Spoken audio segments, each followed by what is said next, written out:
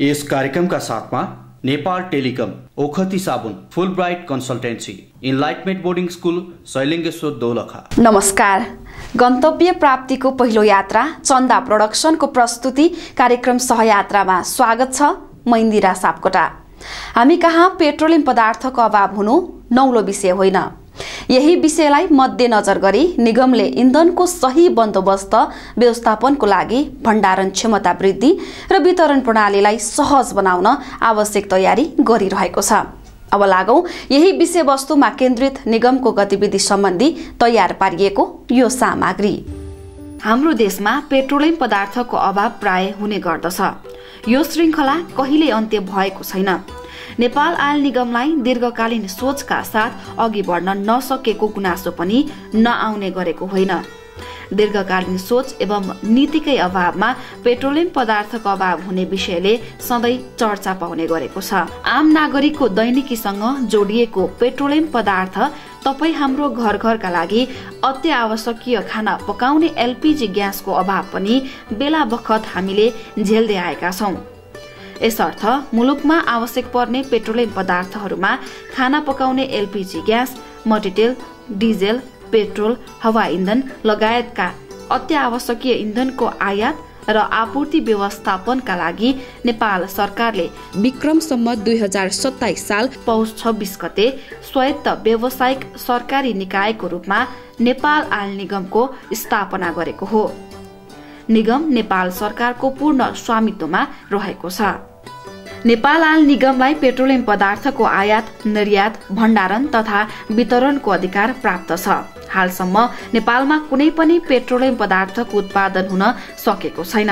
यद्यपि नेपालमा पेट्रोलियम कच्चा पदार्थको भण्डारण भएको सम्भावनाहरू विभिन्न अध्ययनले त देखाएका छन् तर सोको उत्खनन गरी व्यावसायिक प्रयोजनमा ल्याउन भने सकिएको छैन। नेपाल आयल निगमले देशमा पेट्रोलियम पदार्थको आयात ढुवानी भण्डारण र वितरण गर्ने कार्य गर्दछ। नेपाल आयल निगमको केन्द्रीय कार्यालय काठमाडौँको बबर महलमा रहेको छ भने क्षेत्रीय तथा शाखा कार्यालयहरू पाँचै विकास क्षेत्रमा रहेका छन्। एकहत्तर हजार छ सय बाइस किलो लिटर भण्डारण क्षमताका प्राधिकरण ऊर्जा डिपो रहेको निगममा हाल छ सय भन्दा बढी कर्मचारीहरू कार्यरत छन्। नेपालमा कुनै पेट्रोलियम पदार्थको प्रशोधन गर्ने रिभाइनरी नभएकोले पूर्ण रूपमा आयातमा निर्भर हुनुपर्ने बाध्यता छ। नेपाल आयल निगम नै त्यस्तो ठूलो संस्था हो जसले दैनिक करिब पाँच हजार किलो लिटर पेट्रोलियम पदार्थ पन्ध्र सय भन्दा बढी निगमका विक्रेता ठूला उपभोक्ता मार्फत वितरण गर्ने गर्दछ।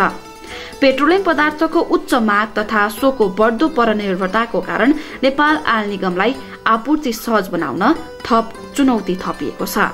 हरेक वर्ष पेट्रोलियम पदार्थको औसत दसदेखि बिस प्रतिशतसम्म माग बढ़िरहेको अवस्थामा माग र आपूर्ति व्यवस्थापन कार्यलाई सहज बनाउनु पर्ने चुनौतीलाई सामना गरी अगाडि बढ्नुपर्ने अवसर र चुनौती दुवै थपिएको छ नेपाल आयल निगमलाई। नेपाल आयल निगम यो चाहिँ पेट्रोलियम पदार्थको कारोबार गर्ने एकमात्र संस्था। विगत चालिस वर्षदेखि नेपाल आयल निगम उपभोक्ताहरूलाई चाहिँ निरन्तर रूपमा चाहिँ पेट्रोलियम पदार्थ सप्लाई गरिरहेको स्थिति छ। अहिलेको स्थितिमा नेपाल आयल निगमले चाहिँ इन्डियन अयल कर्पोरेसनबाट चाहिँ पेट्रोलियम पदार्थ ल्याएर चाहिँ यहाँ बिक्री गरिरहेको स्थिति छ।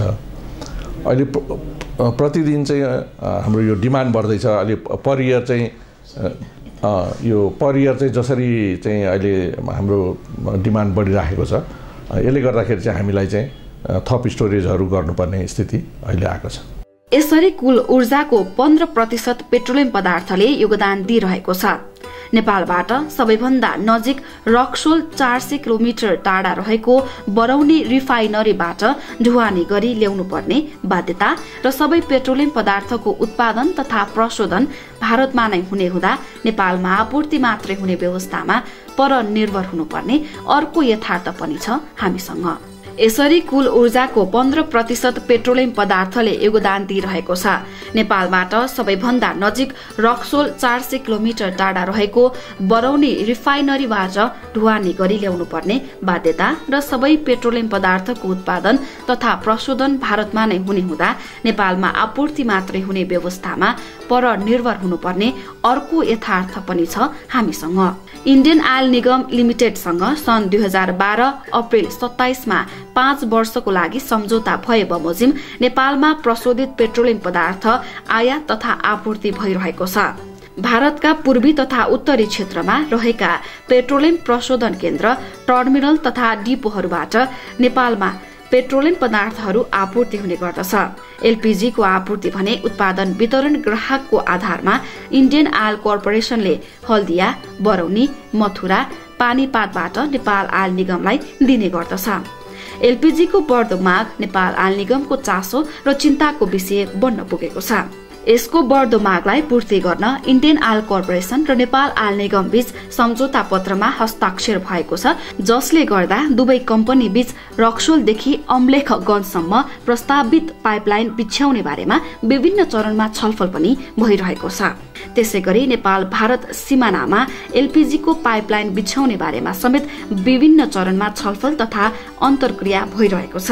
यही यही डिमान्डलाई हेरेर चाहिँ धेरै वर्ष पहिलेदेखि एउटा सपनाको रूपमा सुरु गरेको यो अथवा रक्सोल अम्लिगन्ज पाइपलाइन प्रोजेक्ट चाहिँ यहाँ एमओयु भइसकेको छ जी टु जी यो अन्डरस्ट्यान्डिङ पनि भइसकेको छ। रक्सोल अम्लिगन्ज पाइपलाइन प्रोजेक्ट चाहिँ यसको चाहिँ एमओयु भएर चाहिँ यसको चाहिँ अहिले डिटेल सर्वे हाम्रो सकिसकेको स्थिति छ। डिटेल सर्वे सकिसकेपछि नेपाल सरकारले चाहिँ कन्स्ट्रक्सन हुने जग्गा चाहिँ उपलब्ध गराउनु पर्ने हुन्छ। त्यो भइसकेपछि उनीहरूले चाहिँ इन्डियन अयल कर्पोरेसनले चाहिँ टेन्डर निकाल्छ।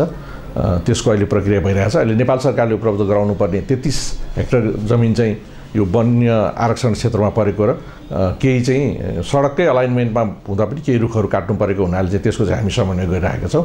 त्यो सम्पन्न हुने बित्तिकै हामी चाहिँ यो पाइपलाइन प्रोजेक्ट अगाडि बढाउँछौँ। बेला बखत हुने बन्द हडताल तथा गत वर्षको मधेस आन्दोलन तथा अघोषित नाकाबन्दीपछि नेपाल आल निगमको भण्डारण क्षमता बढाउनु पर्ने कुरा चौतर्फी रूपमा उठेको थियो।